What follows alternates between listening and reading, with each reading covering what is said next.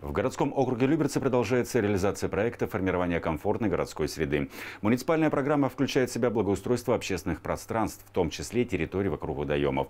В этом году работы проходят сразу у двух прудов – в деревне Жилина и в поселке Тамилина на улице Шевченко. На последней локации были и мы. Пруд на улице Шевченко – излюбленное место не только для пеших прогулок, но и для катания на велосипедах. Только кольцевая дорожка, предусмотренная для двухколесного транспорта, была в плачевном состоянии. Скоро на смену старому асфальту придет новый, долговечный. Всю плитку мы разбираем, которая мешает.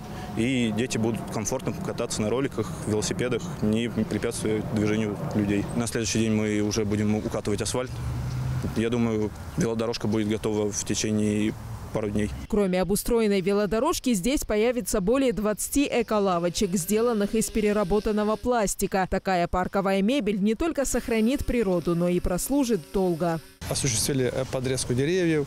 А, я думаю, что тут кое-что надо будет и корчевать, и повести мы э, деревья здесь сюда подсадим. Рядышком, по сути, и детская площадка. Она как бы хорошая, но она тоже уже, я ценю, морально устарела. Скорее всего, поставим в план, чтобы в ближайший там, год следующий ее заменить перечне работы покраска существующих опор освещения. Перед подрядчиками поставлена задача завершить благоустройство до конца месяца. Такие же сроки по Жилинскому пруду. Там установят новую детскую площадку и обновят освещение. Луиза Игиазарян, Петр Пономаренко, телеканал ЛРТ.